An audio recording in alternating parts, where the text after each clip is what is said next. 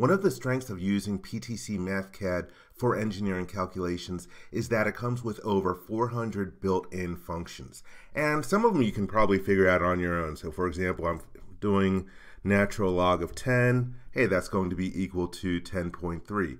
Or maybe I want to do the sine of, let's say, 90 degrees. Well, I type that in, I get 0.89. One thing to note is that in MathCAD, it is using the natural measurement of angles, which is in radians. Degrees doesn't make any sense, but if you want to enter in values with degrees, hey, just use the unit for degrees, and there we get the values that we expect. Let's take a look at some other functions. You'll notice that there is a functions tab here, and we have about 12 groups of different functions. For example, we have our differ differential equations. And if you put your mouse over any of these, it'll tell you what it actually does. And I'll give you a little explanation. Also tells you here that if you hit the F1 key, that will go to the help for that particular function to explain how to use it. And so we have others like probability distribution, statistics, and solving.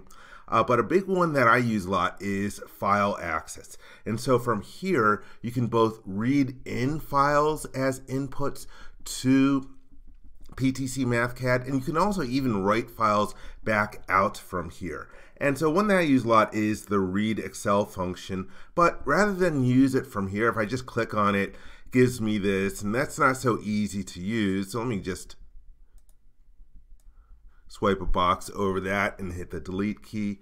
If you go to the input output uh, tab, you can use the read Excel function from here. And this gives you a nice dialog box. So I'm going to navigate to this one for coin toss. I wrote a bunch of blog posts for PTC where I analyzed the coin toss, and actually, based on my predictions, uh, it actually fell in line the last two years uh, in advance, knowing that the Eagles and the Patriots were going to win.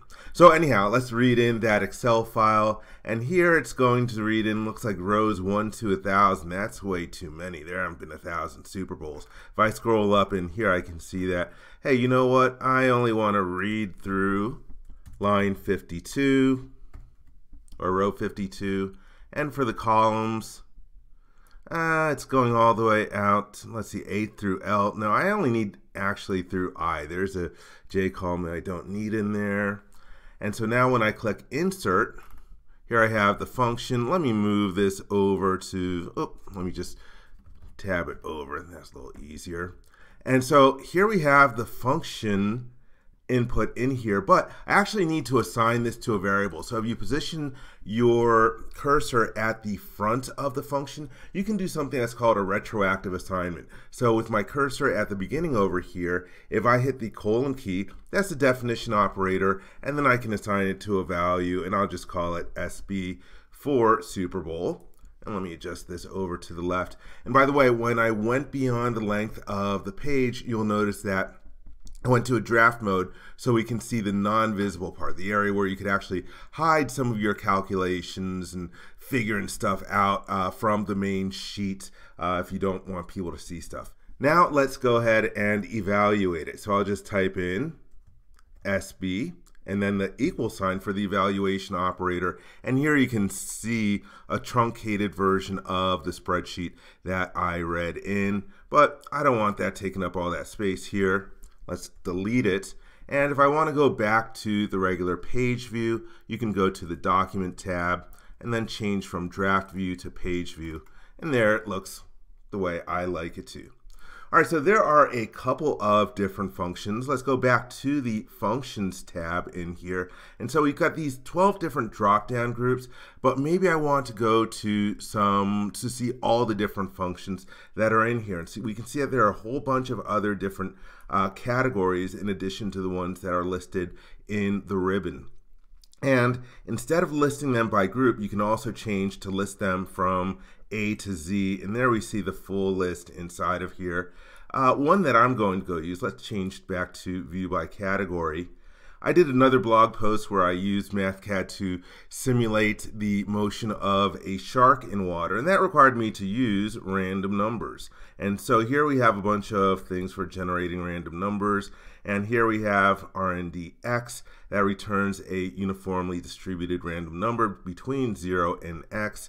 Let's click where we want it to appear on the sheet, and maybe I want to return a value between uh, 0 and 100. And again, just like before, let's do our retroactive assignment. And I'm just going to call this, for lack of originality, R.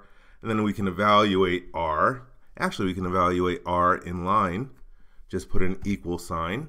And there it gave me the value 19.33. If I go to the calculation tab, I can just hit calculate again, and I'll keep on getting different random numbers out of here. So those are just three of the functions that you have in PTC MathCAD. Again, really, really powerful for any kinds of engineering work that you want to do.